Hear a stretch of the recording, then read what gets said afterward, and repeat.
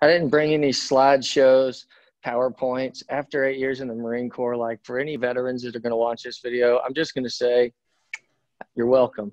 Everything I do, no nut taps, no no Microsoft death by PowerPoint, no one, two, three checklists, because the reality is when you're running at the tip of the spear, a checklist doesn't always suit you.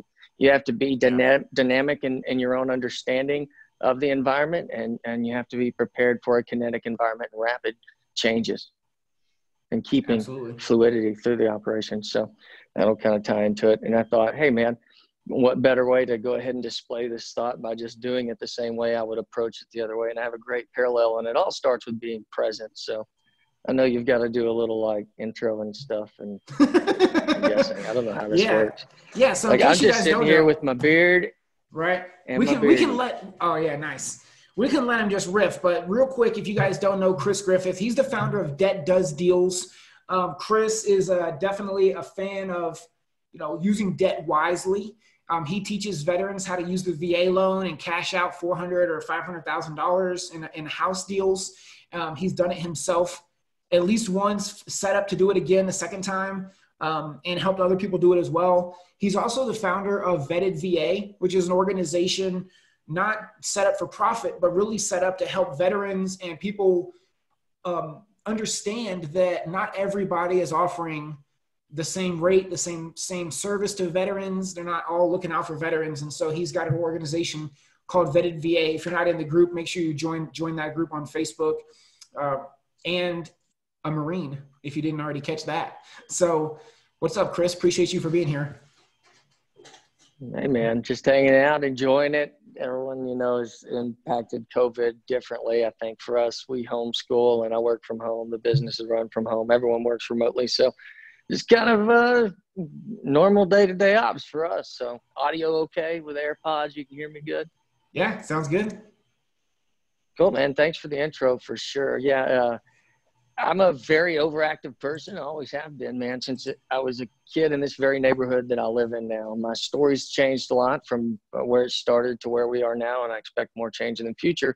But ultimately, my background didn't start with much. We weren't from a big, wealthy family. We didn't have things and stuff. My grandparents were some of the first in our family tree to buy um, home and land and own that, and that carried on. And so my dad's a home builder. That kind of piqued my interest in houses early on in life. And after I got out of the Marine Corps, very quickly knew that I wanted to be involved in real estate forever. So started Debt Does Deals after I left a family bank that we helped to uh, stand up and create and fell in love with debt over there because I saw how it could be used um, to create wealth my big thing is leverage debt to create wealth because once you meet some really wealthy people or some really wealthy families and organizations, um, let is a uh, debt is a universal tool that all of them must deploy for risk aversion and for compounding achievement.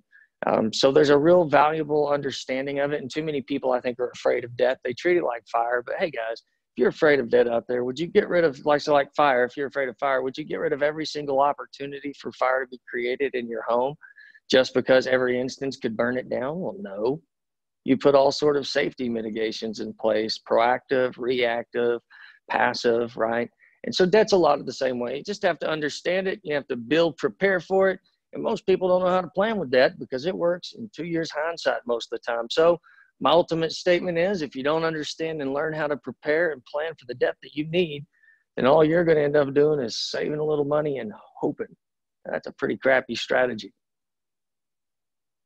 So yeah, created debt does deals and vetted VA. Man, well, that one became really more of a passion project. A lot of friends, a lot of relationships. The one thing I've always hoarded in my life were relationships. I used Facebook to diary my existence for my family, for my daughters. That's what started uh, me down that path. I went from creating little hour long videos to actually just living out loud on Facebook so they would have that evidence. Um, and then what I began to find was a lot of people would reach out to me and just simply want someone to give them advice, to look over their shoulder at a situation, not to try to win their deal, to nod their head if it's a good deal or shake their head if it's not, and then give them a referral without expecting anything, simply based off of they had a relationship value with me that they expected relational value to at least give eyeballs to a situation when it doesn't take a lot of time. And so I began to do that. And very quickly, the number of veterans that were coming to me from all over outgrew my personal ability to answer and solve their problems. So I had to refer them to friends that could, and then I had to vet those friends after I referred them and work on it and help out. And just uh, it's been two years of it now. I've vetted a lot of different lenders, um, loan officers specifically. It's an individual level thing. It's not an entity level vetting. Um, and it's an active thing. Vetted isn't a past tense word, like every other program out there that seeks to do anything similar. And, and all of them miss on one of the points that's going to make us exceptionally different, which is uh, the S of BAMCIS. For all you Marines, you're going to get something that we're going to do. We're, I'm putting the S in BAMCIS for uh, for mortgage origination and how groups and, and logos that proclaim to support veterans, how they do optionality, honesty, fair pricing, fee cost structure, visibility, service standards, right, and experience visibility. All those things are important to the veterans, and too many of them make it just about one simple thing like rate. And for the difference of an eighth of a percent in something, they may pay thousands or ten thousands of dollars, or they may end up putting themselves in a position where this lender is going to continue to offer them bad, crappy products just to continue to do loans with them. It happened to me. I had a VA loan, a six. So you talked about the five-year VA house, also a house I bought in Colorado for 332, sold five and a half years later for 810. That that loan was sold to a crappy servicer who called out and suggested that I do a cash out refi, paying almost two points to keep my rate the exact same, so I could pull out $5,500 to have some cash reserve and replace a water heater. $650,000 loan amount. Was that company doing things in my best interest? Heck no. And so I don't use those types of companies in my business now. None of the vetted people do. I mean, we have a certain standard of service. And at the end of the day, when we're not best, we'll simply tell you, hey, we're not, we're not the best. Go with that other one there. And that's what's cool about it. It's an honest place where there's no solicitation allowed. There's no cussing allowed. You can ask a direct question and expect to get a direct answer. That's right, accurate, peer reviewed. You know what I'm saying? So for me, it's all been about organics and I can monologue however long you want. I want to open up periods for you to be able to ask questions too. If I miss something or jump over something quick you want to inflect on. Um, but for me, it's always been about organics. It started belly to belly, going to real estate agents in Denver, Colorado in 2011, right, or 2012, the beginning of 2012. But it was all referral based off of what I could do and deliver, even though I just started in the industry. And that worked exceptionally well for me. But the real estate agents I thought were losing gravity to the consumer first, and it never reasoned for me why they had the consumer first when the very first thing that they needed to do was refer it to somewhere. And most of the time, they abuse that need to get a kickback for an MSA or for some other thing that molested the thing of value to the consumer. And so that's what irritated me. So I went consumer direct when I started Debt Does Deals. Vetted VAs, consumer direct. It's all organic and it's about displaying and giving enough visibility. Um, everyone asks me what my favorite CRM is, and I tell them Facebook, and they joke and they laugh, and then they say, "No, but really, what do y'all use?" And I laugh and I say, "Facebook." Next question. You know, unless you want to know how. But right, every post is about maintaining that because at the end of the day, I don't need to pay Salesforce thousands of dollars to shoot an email out with some opaque, stupid credit thing, or to have some fancy written up thing by someone who understands about houses to remind my consumers to, hey, better clean your air filters at springtime. You're welcome for this thing of value. I'm staying in touch and top of mind. Right? Like, come on.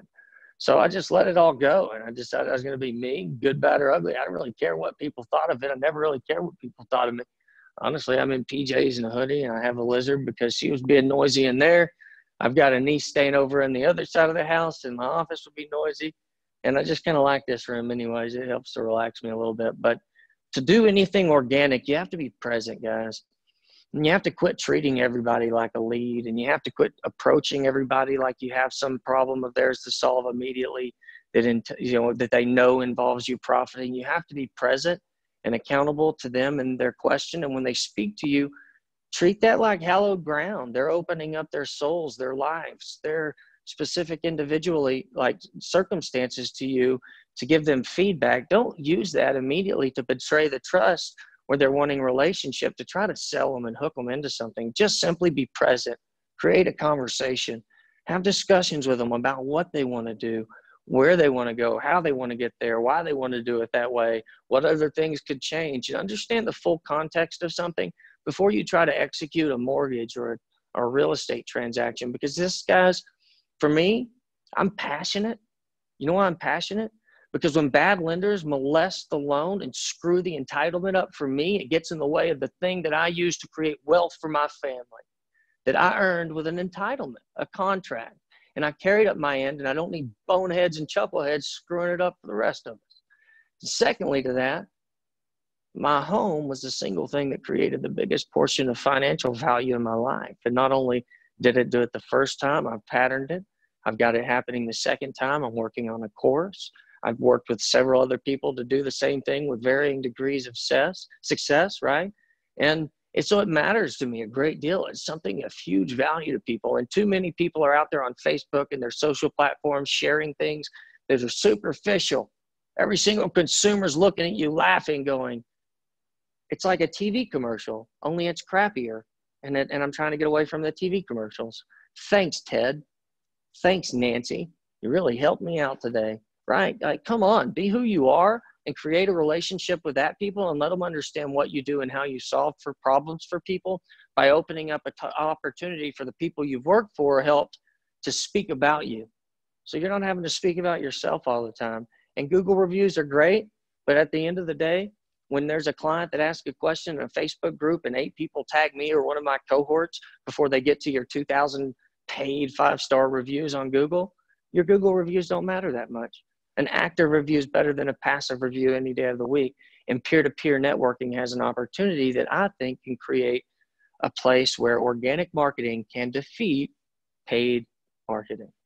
I really think that that's possible. And I'm trying to walk that one out with everything I'm doing from my mortgage business to vetted VA, which I may seem a bit schizophrenic at times, which is fine because those two people, Chris Griffith of Debt Does Deals and Christopher Griffith with Vetted VA, they're two different people. I have two different roles and I separate them hardcore because Vetted VA isn't about me. It's it's set up as a for-profit business because one, I didn't want to have to talk to 12 other people about wanting to do something that I knew that was a better idea than that what they were thinking.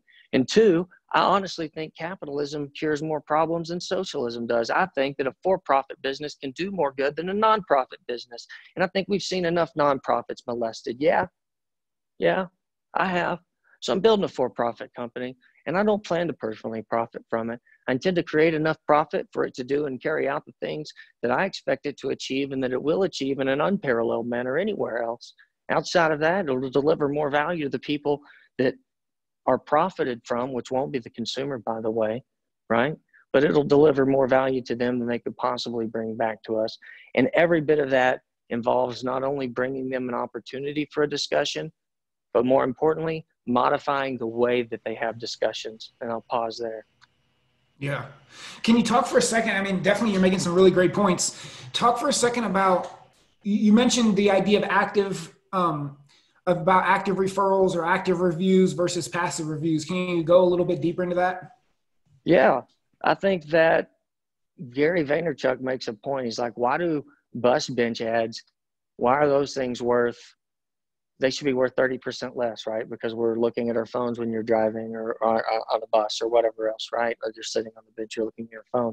So it's like, just by the nature of the change there, it should be worth less. Well, Google reviews are the standard and still are across the board. And we see Google reviews too, but that's a static billboard that exists to a different place where a consumer may go, is likely to go, and they may see it, but it's not an active review. Someone like almost a referral so, like, let's say in random, like, let, you're in Vetpreneur Tribe with me, right? That's one of the groups on Facebook I've put it out there the longest. And this started a little bumpy. I'm glad some of those first videos are no longer in there. I've also been kicked out of that group four different times and added back each and every time. So, what I'll tell you all is just because you get kicked out of a group, what I'll tell you is a group kicking me out tells me more about the group than anything else. And so, learn from it, grow within it. But within that group, if you ask for a VA mortgage referral, go in there and post, Nick. Do it as a test on this. Go into Vetpreneur Tribe while we're on here and say, hey, I'm looking for a VA mortgage referral or someone to help me with a VA mortgage question and see how see what happens in there. And let's test this thing. Don't base it off of what I'm saying.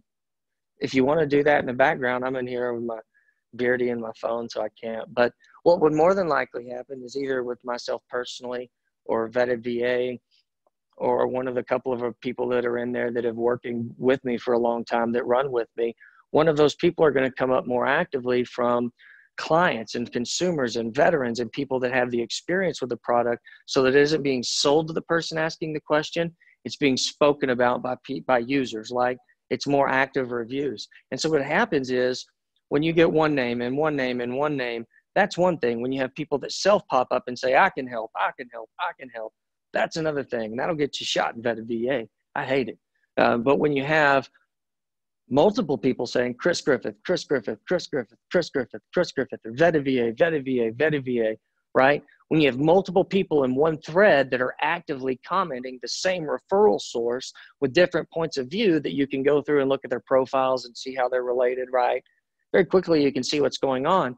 And that suggests a lot more consumer confidence, even sometimes, than Google reviews. Because let me just put it this way if you see one of those threads go off and you as a consumer just ask that question, and there's 20 answers that come up and 10 of them are pointing to me, are you going to go to Google and review everybody? Or what's going to hold more credence with you? 10 separate people that said to use one person, or how many Google reviews they have?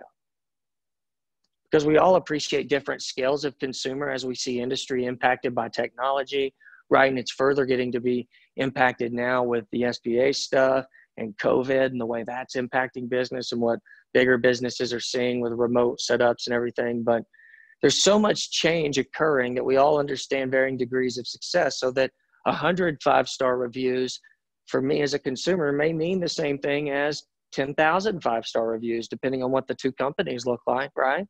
So the active review portion in there gives you a, a closer to the tip of the spear referral point with a consumer. And if you can create enough relationships with people, don't look to get to the person that needs your the mortgage help.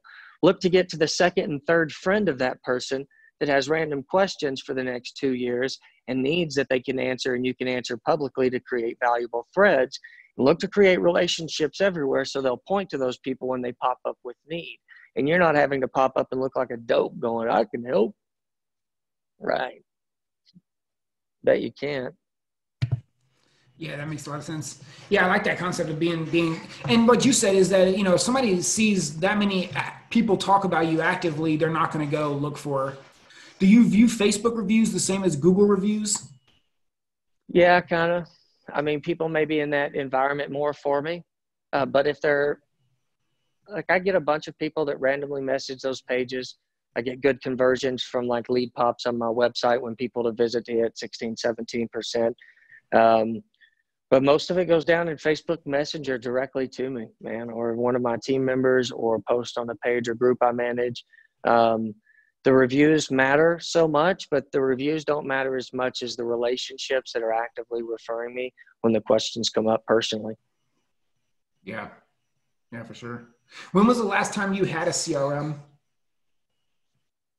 Uh, about a year ago and even the entire year we had it, we didn't really use it. I used it to pester a bunch of people for a while. I'm sorry, guys. I won't ever do that to you again. Basically, I make a deal with my consumers now, like, hey, follow me on a couple social platforms. I'll never send you all that email garbage that you're just going to delete and cuss me every week when you're doing your 200 email clean out in the morning. It's like no one likes that. I hate email because of it, right? Because it, it becomes what LinkedIn Messenger is basically solicitations garbage central right? And you can't find the two or three things you need because of it. So if they follow me on there most of the time, the active stuff or getting to know me takes care of all of the passive billboard style reviews that most people focused on for the longest time because they were doing SEO driving or paid marketing. All that stuff matters, don't get me wrong, and I still seek it with all of the people, right? But I don't know. I want to get to 105 star Google reviews. I think we're at like 40 or something right now, somewhere in there. But if you ask me what mattered more, 100 five star Google reviews or 100 people that were going to be active on social media to tag me and post when the questions come up, give me the people all day. Give me the army of the yeah. people all day. It's not even close. Give me 10 of the people for the 100 five star reviews. Yeah, no doubt. Right? For sure. You're doing fatty. If somebody's listening to what you're saying today about how you use Facebook as your CRM and you know that's sort of your you know how you're organically staying in contact with everybody and they're not doing that i mean is there one, if you just had to give one quick idea, what's something somebody could do to be more like yeah. the way you use Facebook? Yeah, I would say post, try to force yourself, pick a platform. I know that you need to get to all platforms. I get that. Pick a platform. For me, it was Facebook because of my style of communication, uh, because of the like breadth of conversation that can occur on the platform, the integration and levels and everything. So it was Facebook for me. But pick a platform and really do what Gary Vee says and go all in on it. Not 20 pieces of content a day. Three, try to create three unique posts a day. Like one static picture type post that's relatable, one video that's relatable, and and one other thing, a mm-hmm. written post that's relatable. And make those three things not necessarily about what you do, make them secondary or tertiary to what you do. I talk about value and wealth creation in real estate using debt as the lever instrument that makes it all achievable because I became a mortgage professional because I knew how important debt was to get into holding real estate, right? So seek out the second and third portions of value. Legion of Loan Officers has been more successful in the lead, and there's a very viable place for what y'all do. You know, I'm a member, have been for a long time with Luke. Love, love the stuff that he put out. There's a very viable place for paid leads, bigger companies than I do that scale it. But your thing of value that I love that attracted me was you were looking deeper, which showed me that you had a bigger understanding of my problem. I didn't just need to create leads, I needed to create relationships with agents, right? And and that's where you separated yourself from the pack. So if you're going to speak to your industry, do it like Nick did or do it like I do. Do it in a way that's secondary or tertiary to your primary subject so people don't feel like you're hammering them every day about the same thing. I have to pull back on those things. And I post all kinds of stuff, man. I post stuff about my lizards, my chameleons, my kids, what we've got going on here. None of the stuff even relatable to what I do because I have way more that makes me who I am than mortgages, guys. Like, come on. I have basically a, a reptile farm in my house, right? We have all sorts of stuff, all sorts of stuff coming. We homeschool three daughters. We have three different real estate businesses. We I was a band scholarship guy. I was a four-eyed French horn scholarship, man. A Marine for eight years. I've got has high testosterone naturally. Like I've got a lot of odd things about me. And the thing that I think most people are afraid of is they're afraid of doing what Luke says on the family stone, and that is fly your freak flag high. Don't be afraid of it. Show people who you really are. Nick does. I do. I show up in a hoodie, PJs, and a beard because – I didn't have time to get dressed at 5:30 this morning when I started working. Right, so you deal with it. Awesome, man. Really appreciate you for jumping on here and, and, sharing some of that with us. I mean, I think you do an awesome job on Facebook on the organic side, and like you said, I constantly see you tagged everywhere, so I know, you know, what you're saying is definitely. I hope it's valuable. Working. I hope I didn't miss anything. If any questions popped up during this thing that we can answer, that would be cool. Uh, if you want to do that Vetpreneur Tribe or them other group tests to see, that would be cool. Um, it really is. It's people try to. You cannot make your living about being a process. People know you're a robot. They don't want a robot. Production somewhat matters because you need to be able to be seen and heard, but they don't need spoof content. Everyone has learned that that type of posturing usually means there's a lot of BS that they're trying to hide behind. Most people think that I appreciate or appreciate me because I show up and I'm unconcerned with how they may feel about my appearance because I know what I do and I know what I'm good at. The people that come to me know too. And if you got a problem with my beard, good, leave. You left, you were going to have bigger problems with me than my beard, I guarantee you. So this keeps people from coming in the door too. You want those things to be out there that separate you everyone's afraid of niching down too much. It's not a possible thing to do. There are so many different unique people out there, guys. Be unique, be yourself for the love of God. Please. Awesome. You know? For sure. All right, man. Well, thank you so much for joining us. We're going to take a little quick five minute break or so, uh, maybe three minute break. I used to be a one man shop. I now have four loan officers under me. I have taken myself out of production uh, so I just manage the team now. So if you think about it this way, before the Legion, I was probably doing three, maybe five loans a month. Now I'm completely out. I don't even take applications anymore. I don't have to worry about where to get my next leads from because I can just turn on a Facebook ad just like that. I never even thought about becoming like this overseeing uh, person. Uh, business before Legion, it was all about chasing the realtors. Um, you know, it was about, you know, trying to, you know, it's basically best begging for business. What I've learned in the Legion is is something I've never even thought of before. It's it's it's a way to help me grow my business as well as my agents. And no agent's going to be able to, you know, turn business down.